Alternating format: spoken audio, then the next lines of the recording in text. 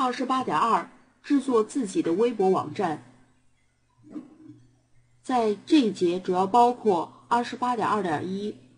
制作网站需求分析；二十八点二，对于网站的配置分析；二十八点二点三，网站制作步骤；二十八点二点一，制作一个微博网站，我们首先要进行需求分析，确定网站的主要功能。这里面我们分成前台和后台。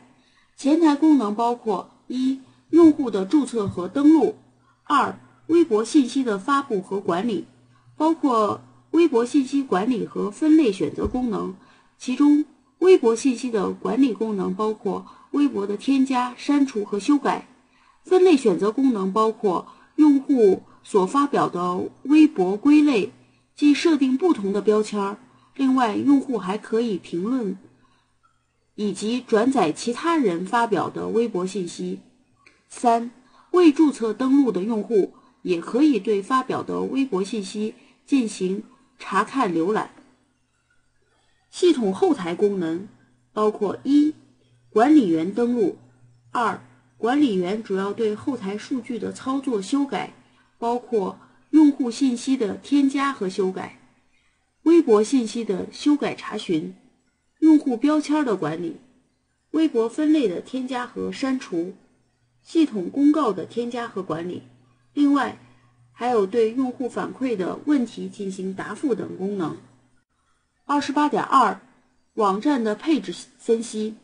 微博网站系统主要采用 ASP 加 SQL Server 来进行开发，Web 服务器采用 IIS 服务器组件。二十八点二点三，网站制作步骤。首先进行数据库设计，数据库当中主要包含的表包括用户信息表、关注组表、标签表、私信表、微群表、普通消息表、消息话题表、消息评论表、群消息话题表、收藏表、关注表和转发表。二、功能模块实现，这里面我们以首页为例。首页的结构主要包括以下功能模块：注册登录模块、网站公告模块、微博信息分类模块以及微博点评模块。